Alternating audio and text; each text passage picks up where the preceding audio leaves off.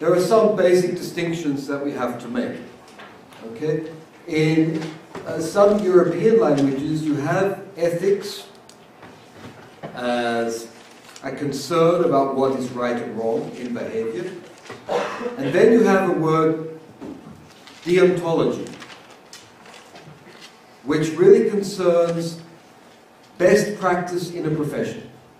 And deontology would come close to what in English is a code of ethics. You know you belong to a professional association of any, any profession or, or, or commercial activity even, you get a code of ethics. Things that you should do and thereby things that you shouldn't do. Those would be deontological. Those belong to deontology. Um, and that can be on the level of the profession, of what's normally done. They would be the norms, if you remember what norms are. Okay, norms, what people expect you to do and what is usually done. Uh, they can be on the level of the academy, of people thinking about what should be done. And there it tends to become a more philosophical concern about uh, the variation. We saw when we dealt with norms that different things are done at different historical periods and in different parts. the profession tends to work on what we would call a deontological level. When you get to theories in the academy and the awareness that norms are culturally variable, it becomes more difficult to do that. We can't say something's done because it's just the best way to do it. We start to ask ourselves why. Why isn't it done differently? How could it be done better? And according to what principles? And that's when you move more into ethics uh, as such, which is a branch of philosophy. There's a reading that goes along with what I'm going to say by Andrew Chesterman, uh, a British uh, translation scholar who works in Finland, and he goes through the available ideas around on ethics and deontology, on what's good and bad, and he arranges them into four categories, and I think that's useful uh, for entering what is a very complicated discussion. Firstly, we find that a lot of the pronouncements in theories and in prefaces especially about ethics, about what should be done and should not be done, concerns representation. The, the, the, the millennial discourse of fidelity is always fidelity to something. And usually it's to the source text. I represent what's in that text. And if you don't represent what's in the text, then it's supposedly unethical. And that would be an ethics of truth. The truth value of what you do, in that it represents another text. Is it a good theory? Of course it's not a good theory. Because if I go, um, uh, uh, well, the people at the back are not going to represent that as they interpret me, and they are thereby unethical? No, I don't think so. Uh, when we move through a text, we are often simplifying, explicitating, uh, getting rid of superfluous redundancies, in fact, improving a text, which might be ethical, but not according to an ethics of representation. So if you thought that was the end of the story, I'm sorry it goes on. Remember, we talked about Skopos theory, the theories of purpose, the theories of, of translators doing something in the world. And uh, I might have mentioned in passing uh, the work of Christiane Nord, a German translation theorist, who works within Skopos theory and says we more than just fidelity to a text, because we know translators often have to change the text, we need another kind of relationship, which she terms loyalty. You can be faithful to a text, but you're loyal to people. She says, you must, you translators, interpreters, ultimately have to be loyal to the people you're working with. And is loyal to the author, loyal to your receiver, your, your reader, or your audience in this case, or loyal to your client. There you enter an ethics of service. And that's the kind of professional ethics you find in service-based economies such as the United States is becoming, and most of your countries are becoming service-based economies. We don't sell things, we sell our time, we sell our human relationships, our expertise, our knowledge, and the ethics we get are ethics of service, of the guarantee of the quality of what we say in our relationship to people. You see the difference. From fidelity, a truth value, you move to loyalty, which is a service value. Satisfying people in their needs, recognizing the needs, giving them advice, as well as translations. When we did that, we looked at Skopos theory, at theories of purpose and action. After that, we moved on, I think, to descriptive translation studies, and we dealt with norms. And there, I hope I convinced you that different cultures, different historical periods have different ways of doing things. Okay? And that can be highly problematic for norms. It means that the kind of representation you have or the kind of loyalty relationship you have depends on where you are in history and in which culture you're positioned. And if you're aware of extreme cultural relativity, which is what that is. Means nothing is universal, universally absolute. Everything depends on where you are in history and in cultures. How do you act? You can no longer make an appeal to something like best practices. Best practices says the interpreter has to render every word that's uttered. No. Best practices say the interpreter edits out superfluous material. Perhaps. But historically, you're going to have to say best practices is, is whatever the people involved expect you to do. This comes back to an ethics of trust and trustworthiness. Okay?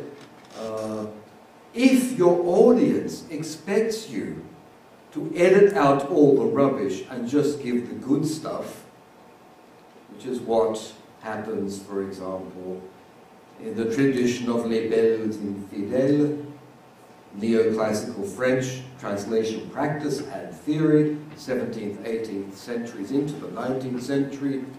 Just give us the good stuff. Don't render Homer as a, the Homeric epics as a big book. Reduce it down to something I can read. About 50 or 60 pages would be nice or the French at the end of the 19th century, the French were pretty good on this, uh, explicitly, I've got one translator who explicitly defends his translation of Tolstoy, War and Peace, at coming out at one third of the length. And he just says, bah, it's too long for a novel. A novel has to be this length. War and Peace is too big. I've just given you the good bits. Okay? And at that place, in that place and time, that was what people expected the translator to do. It actually says, tout le monde sait. Everybody knows the Russian novels are too long, so everybody would reduces.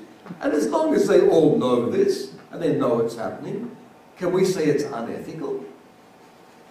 The fact is, the readership trusts the translator to do it. The translator earns their trust by doing it. And Tolstoy is off in Russia somewhere, somewhere he doesn't care, so everybody's happy. All right?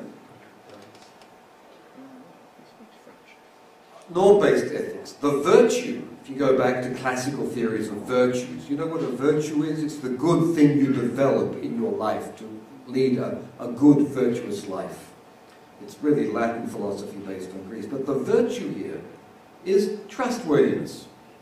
A good mediator, translator interpreter, develops trustworthiness, as opposed to loyalty, which could be blind. You're loyal, a dog is loyal to you. They'll never leave you. You could be a really bad person. You could be loyal to a very bad person. Is that very ethical? Okay. Uh, or, um, or truthfulness, which would be the virtue for the first paradigm.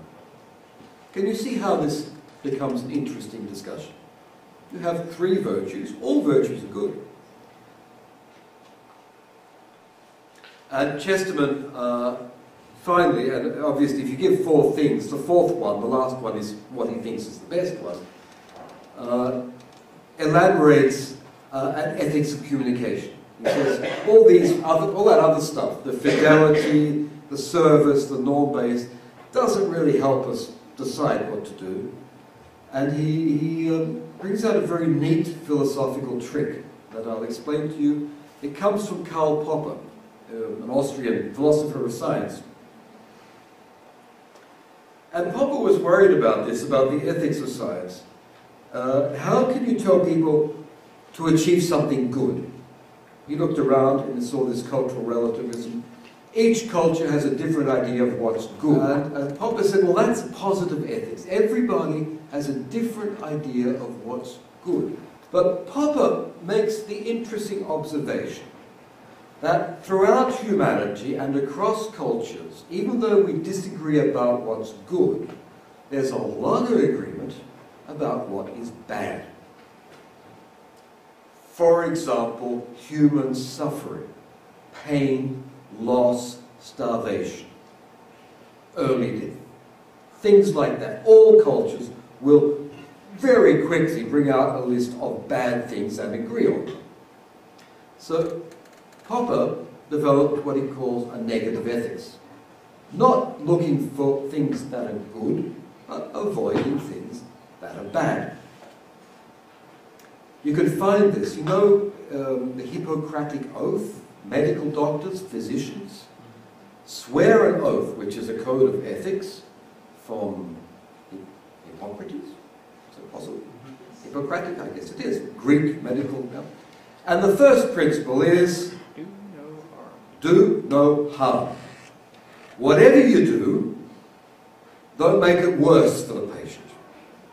Okay? You may be a quack. You may be somebody selling false remedies, placebos, whatever. That's okay, as long as you don't make the situation worse. That would be negative ethics. Number one, don't make it worse. Okay? Chesterman looks at translating and interpreting and says, well, how could we apply this? He says, well, everybody disagrees about what truth is. You could disagree on loyalty and trust is a relative virtue after all. He says, well, what's the equivalent of suffering in communication? And he says, suffering in communication is misunderstanding. Avoid misunderstandings. This was his number one recommendation. Even if you don't know what that person means and you don't really know what that person wants, you can still do something like avoid misunderstandings. For example, it might be ethical for you to say, I don't know. I don't understand. Or be quiet. Okay. Do no harm. Interpreters, if you don't know what I'm doing, just be quiet, please. Don't take a guess. Most people do though. Next week I, I, deal with risk management, and this, this is part of when you can and do take guesses. But the negative ethics would be just stay with what will minimize misunderstanding. Now, Chesterman actually, actually believes in cross-cultural understanding. He does say from there, translators, interpreters should strive for cross-cultural understanding. Personally, remember we talked about deconstruction, we talked about indeterminism, we talked about Gavagai. Personally, I don't believe there is any understanding. I don't believe we ever get to understand ourselves, let alone our spouses, our children, our mothers and fathers, and colleagues in class and in other cultures.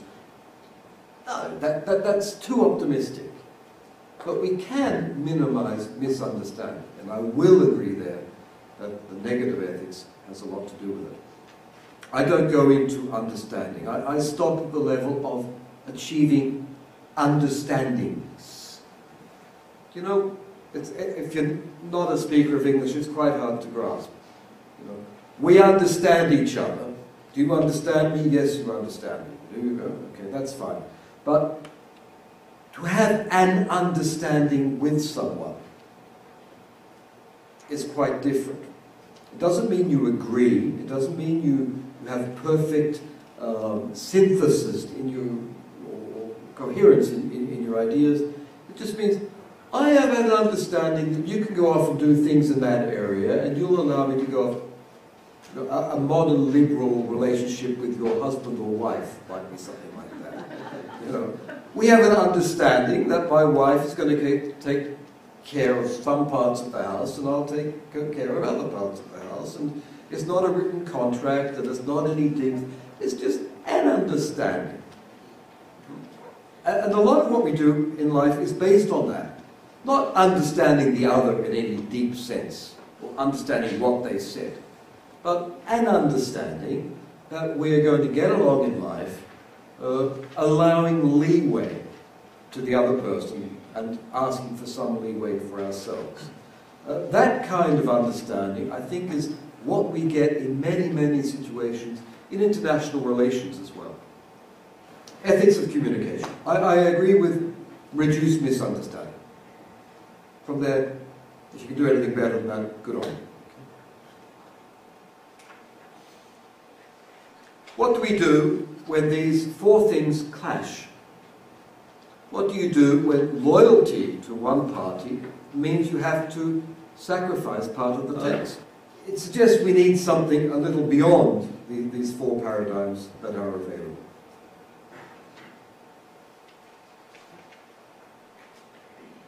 And I leave that there. Uh, I will suggest next week what I think might be the basis for, for an ethics, and ethics of risk management, which is what most interests me at the moment. But here in this class, because you're all young professional translators and interpreters, I want to present some codes of ethics. I want to represent codes of ethics, deontology, such as it exists around us, notably in the ATA. Okay, that's, that's the list. ATA, Code of Ethics. I will serve the best interests of my clients, conducting my professional activities without causing or intending to cause harm. Ah, negative ethics, Hippocratic oath, applied to the ATA. I will treat all my clients with equal respect, regardless of their origin, race, religion, gender, age, or sexual preference. Very noble American liberal code of ethics. I will represent honestly my, oh dear.